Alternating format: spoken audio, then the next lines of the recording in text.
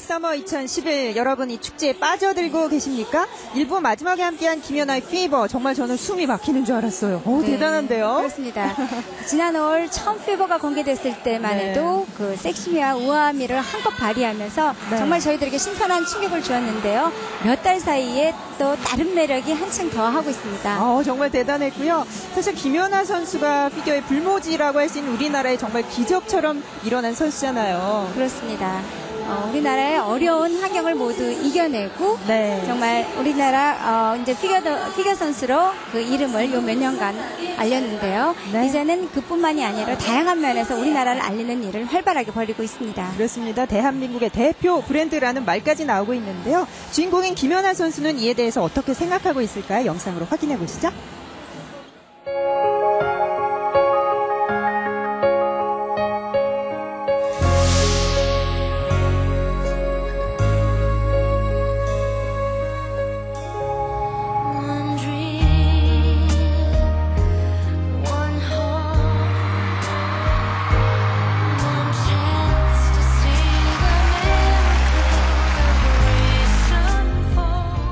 대회를 뛰고 있는 선수 중에 한 사람으로서 좀 더 잘하고 좋은 결과로 또 대한민국도 알리고 특히나 올림픽 때 그런 점들을 많이 생각하게 됐던 것 같아요. 올림픽은 아무래도 다른 대회들보다는 나라 간의 싸움이라고 볼 수도 있는 그런 큰 이벤트여서 내가 대한민국 선수라는 게 자랑스럽고 그런 자부심도 잃지 않고 좋은 결과를 내려고 노력을 많이 했던 것 같아요. I'm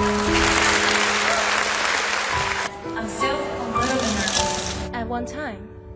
So, please allow me to say thank you, dear ISC members. 어, 선수로서 경기에 나가는 건 제가 대한민국 대표로 나가는 거지만 어쨌든 저의 경기이기 때문에 저만 생각했었던 건 사실인 것 같아요. 이제 이번에 평창 유치 홍보대사로 활동하면서 스위스 로잔에서부터 이제 해외로 직접적으로 활동을 할- 하다 보니까 내가 그동안 느껴온 부담감은 별게 아니구나라는 생각을 하게 됐어요. 올림픽 관람하고 있겠죠? 또 우리나라에서 열리는 동계 올림픽이기 때문에 어떤 모습으로든 함께하고 있을 것같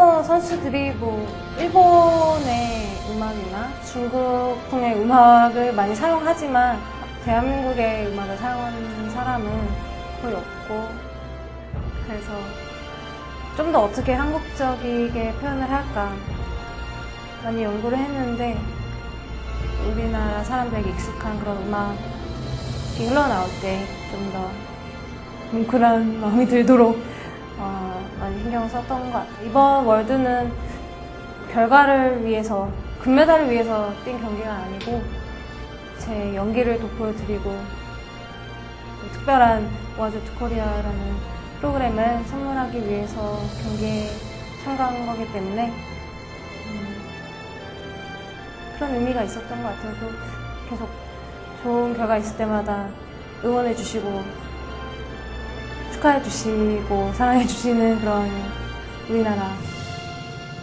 팬분들에게 바치는 선물이랄까.